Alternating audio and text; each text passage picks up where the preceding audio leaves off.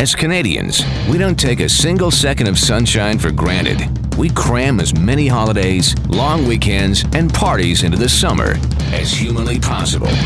Join K Rock 1057, Tiernan Irish Pub, and Sleeman Brewery for the pre Canada Day Party Cruise. Thursday, June 30th aboard Thousand Islands Cruise Line's Island Queen.